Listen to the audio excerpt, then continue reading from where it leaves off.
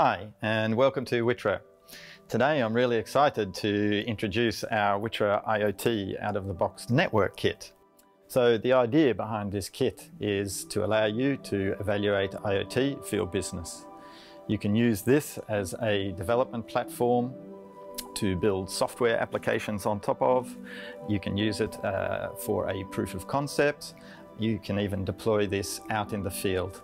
Um, all the equipment here is ruggedized, industrialized, IP67 sealed, for example.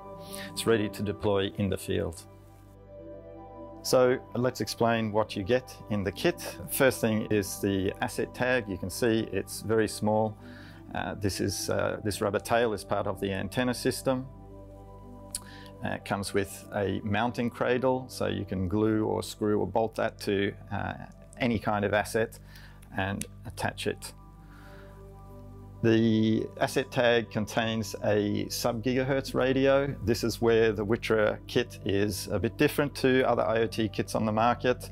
Most of them are based on Bluetooth, Wi-Fi, Zigbee, even ultra-wideband. All those technologies are very high frequency. By using sub-gigahertz, we get long signal range and good penetration of the signal through building structures.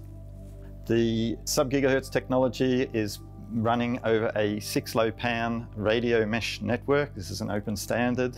And we also use frequency hopping. So we have robustness against interference and we have a high data capacity because we're spreading our airtime across a large number of channels. That's the asset tag. Next is the mesh router.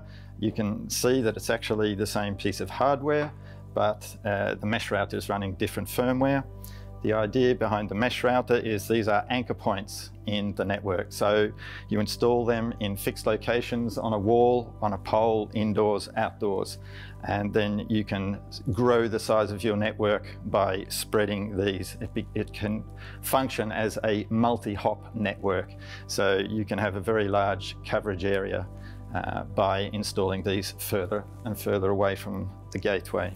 So speaking of the gateway, this device aggregates all the data from the network and funnels it up to the cloud. So the Wittra Cloud portal is where you visualize your data from your sensor tags. Uh, apart from the hardware here, there's some accessories and antenna for the gateway, uh, a, some Velcro bands to allow you to uh, mount the asset tags on other kinds of assets, chargers for recharging batteries in the asset tags and powering the mesh routers, uh, USB cable to configure the gateway with, and then a reset plug for the tags, a magnet, we use that in registration, and a release key to allow us to remove the sealing caps on the tags. What I want to show you here is a click-on module, which is not a part of the network kit, but it's available through Wittra's distribution channels. This is the first of many such add-on sensors that we'll be producing in the future. This one here comes in two versions. The short version is self-contained and is powered from the internal battery in the tag. The longer body version is uh, set up to take external power through the micro USB connector. Now we're going to look at how we actually get this running online on the web portal. Okay, so first thing we need to do is make sure that our tags are charged. To do that, we need to remove the dust cover. Okay, so here we'll see how we can remove the dust covers. Uh, you should be using this tool, uh, otherwise you risk breaking these plastic arms on it. So just line up the teeth on the removal tool and just press down like that and the cover will pop off like that and then you can just remove it with your hand. And then we can charge the tags through the USB port. So I'm going to plug this in here to one of the chargers let that charge for about half an hour and uh, that should give it enough charge to complete the rest of the registration procedure. Uh, full charge would normally take uh, one hour plus. So it's very important that you make sure that the asset tags are actually charged before you do this setup procedure. The mesh router tags actually should be powered the whole time. Uh, they use considerably more power than the tags, so they actually should be powered the whole time. So I'm actually just going to, okay, right, so they're powered. They can just sit there. Then uh, we need to look at the gateway. Uh, I'm going to remove the lid. There's two metal sliders that you push up. Now if they're too stiff, you can take a screwdriver or a pair of pliers and uh, push that if it's hurting your fingers to remove those. So remove the two uh, sliders, they're marked right and left, and lift the lid. That could be stiff because there's a rubber seal here uh, to weatherproof it a bit, so you might need to use, there we go, give it a little bit of encouragement, like so. Then we have the uh, gateway here. To connect the kit uh, to the portal, we recommend the use of an Ethernet cable. So I'm going to show you how to plug that in here. After you've uh, mounted the sealing grommet, we can just push the Ethernet cable through like that and route it through to the Ethernet jack there that's on the Raspberry Pi and click that into position and then screw up the cable gland like that and we can give it 12 volts power. So we have the power supply uh, from the from the kit which has a two pin plug. You'll see there's a keyed slot in the body here. Remove the cap and just rotate that until you can push it in. Then turn the locking tab. And you'll see here we have the green LED indicating power good to the unit and that will put your gateway online to the portal. The other end of the Ethernet cable can either go to a standard Ethernet switch or to a third-party cellular modem which you can buy online. Important to connect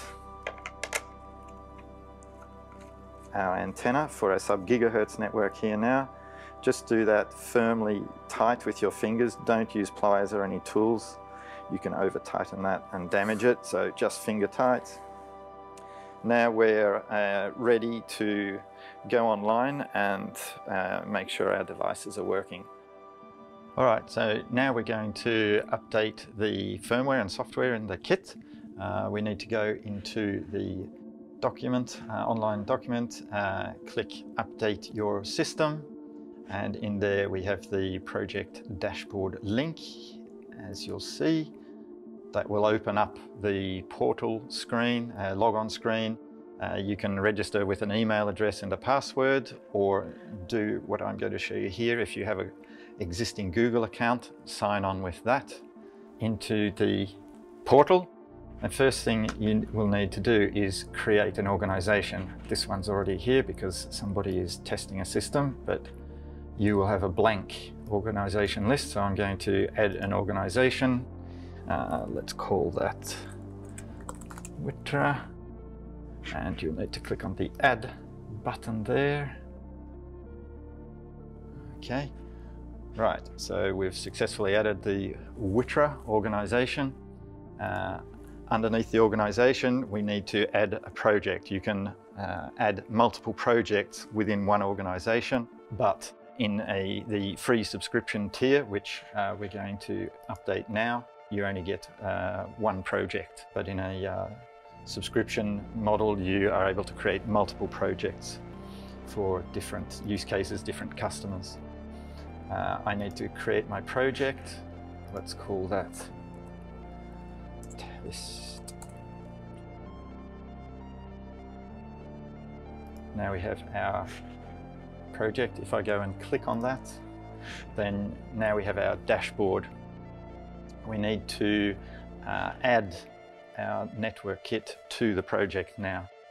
So if we click on add device, it's asking us to put in a device token or a batch token. The batch token is actually located inside the network kit box underneath the gateway. When you lift that out, you'll see a sticker and it's a good idea just to double check those before you click on add devices to project. That's a unique string. Uh, every device that's manufactured has its own unique batch token. Okay, so now you see here we have the dashboard. It's being populated with the devices in the network kit. Uh, we need to go and trigger a manual update of the mesh routers and the tags. The gateway itself will go online and update its software remotely uh, and automatically. You don't need to worry about that, but we need to trigger manual update mode on the other devices in the network kit. So uh, let's do that, select all and just deselect the gateway like that. Then click the update button. It will allow you to review the list of devices you've selected and then there's some instructions there about entering the manual update mode on the devices using the magnet and the reset plug, the OTG adapter in the network kit. So let's start the manual update like that. Okay, so what we need to do now is actually go and physically trigger the manual update mode. So let's go and do that. So we take the magnet, doesn't matter which way up you use it, place it approximately over the W symbol, take the reset plug, micro USB, insert that, leave it there for a second, and then just remove it. And now we can see that the LED is doing double blink then that's indicating that it's in manual update mode.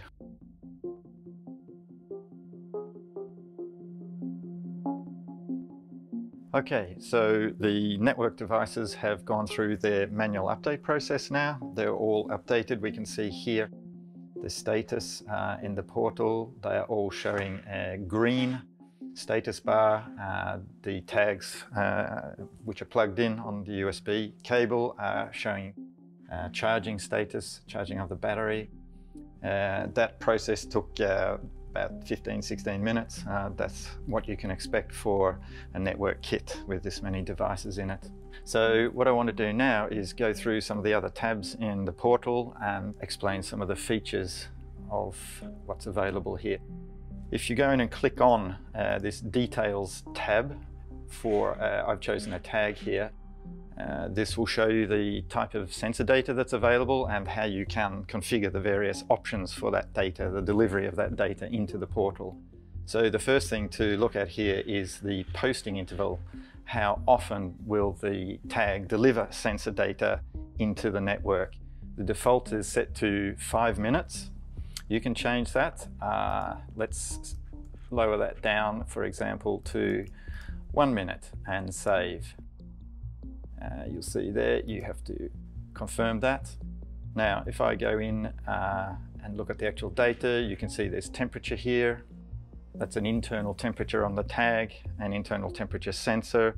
So if you change the environmental temperature by walking outside or put it in a refrigerator, it will take some time to equalize to that new temperature because the tag is sealed. Let's have a look at this metric here. We've got a metric called moving and stationary.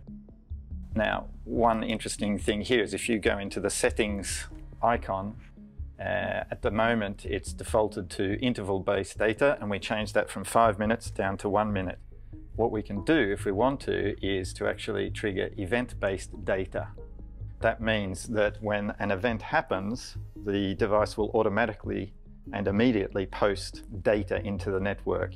The event, uh, we define it here in terms of uh, the amount of time moving before it posts uh, that data. So uh, let's say we want to uh, do something like 72 seconds. Okay, um, so you can have event-based data to trigger immediate posting of an event and the event is defined in each of these tabs here. So uh, movement uh, based data or uh, on the other hand stationary, how long has the device been stationary for? So then we end up with a, a usage figure, how much is the device being used as a percentage of time. Moving down, we have the raw accelerometer data um, in three axes, X, Y, and Z. Uh, so this will show you if the device is actually stationary, um, if it's tilted, if it's moving. Gyroscope, of course, is a dynamic device. It measures rotation. So uh, if the device is still, of course, it's going to produce zero on all the axes, as you can see there. magnetometer uh, is measuring the orientation of the device relative to the Earth's magnetic fields along north-south grid lines. So uh, you can use that to determine the magnetic orientation of the device. Okay, let's go have a look at some of the other tabs in the portal. Uh, one interesting one is this visualization tab here, where you can overlay a floor plan. And let's show you how to do that very quickly. We go to add data. You can load in um, various supported uh, file formats uh, and overlay a floor plan here, stretch it to scale it properly on the map, and then save the view and uh, then you need to go and drag your system devices, so the gateway and the mesh routers onto the map in a correct position. If you do that, then you will be able to position the tags relative to that infrastructure on the map. We won't go into those details here. Integrations, this allows you to export or push the sensor data that we've looked at out to a third-party URL. So uh, one of your customers, you might want to do an integration into uh, a back-end system they have. They might want to make a fancy uh, GUI dashboard, uh, another kind of mapping system, whatever. So let's create the integration point. We use webhooks and you need to put in the URL that the data is going to be pushed to and just hit create. Other than that, uh, there's just a basic settings tab here, which allows you to uh, delete the project if you wish to do so. That concludes uh, this brief overview of the WITTRA portal. Uh, I hope you enjoy using your network kit.